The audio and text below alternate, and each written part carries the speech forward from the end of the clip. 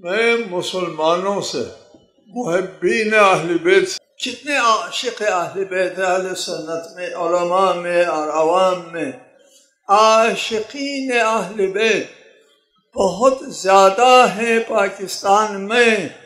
ان کی خدمت میں کہتا ہوں یہ تکفیریوں کو سمجھائیں۔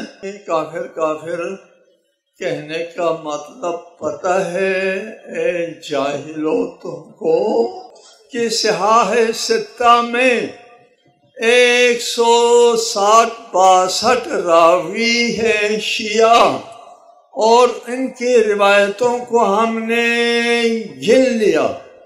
ہمارے جامعہ الکوثر نے تحقیق کی۔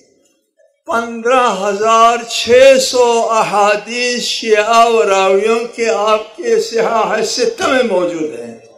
مت کہو کافر سمجھاؤ نا آپ تکفیروں کو۔ سبحان اللہ۔